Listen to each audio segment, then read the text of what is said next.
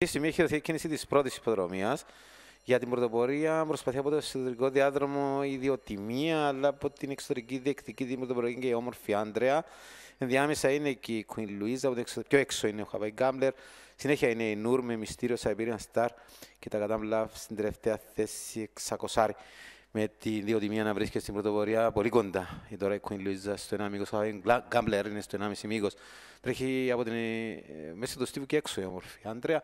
Ενώ βελτίωσε τη θέση της στην ιστορική Νούρ και είναι τέταρτη τρακοσάρι στην πρωτοπορία διοτιμία. Η Queen Louisa ακολουθεί από τη δεύτερη θέση στο 1,5-2 μήκη τώρα.